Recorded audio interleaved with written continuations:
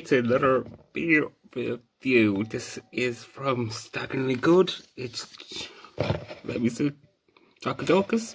Uh, this was sent to me from Wanda Beer Wonder. Thanks again, guys. So let's get it out of the glass. It is, I think it's 6.7%. It is chocolate milk stout, so I'm expecting lactose, maybe some oats. Uh, from what their review of it I think was Christmas Day. I should be pouring this. The Jersey chocolate. Okay, so there we go. So we got what one finger. I should do the SAS.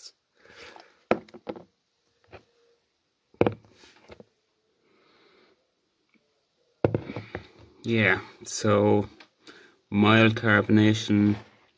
Oh, I should put the can back here. Learn. So this is as I said before Staggeringly Good. Out Southampton.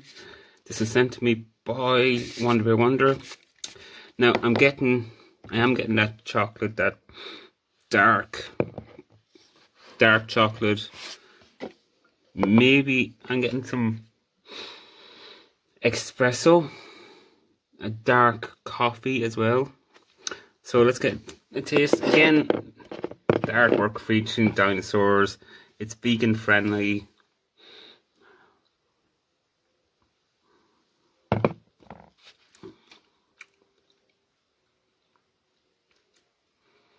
Yeah. Not what I was expecting.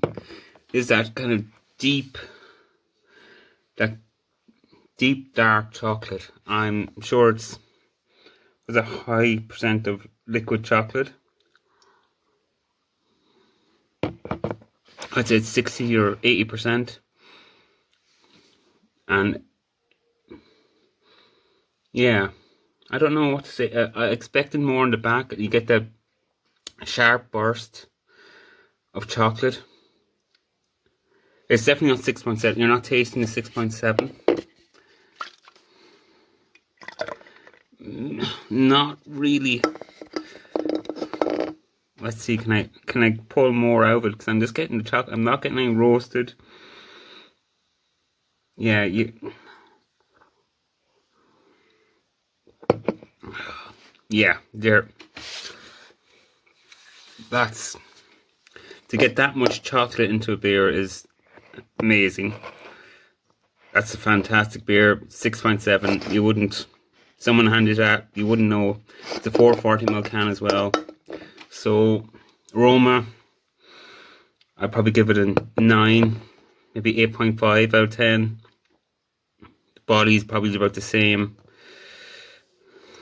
It's probably a little bit less, probably an 8, maybe 7.5. And then appearance, yeah, it's probably probably 8. So it's probably in, probably 7.5, 8 out of 10 for me. It's just lacking something on the back end for me. I think it needs...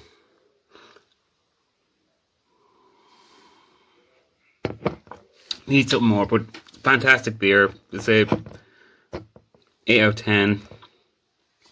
Comments below. Share, like, subscribe, whatever.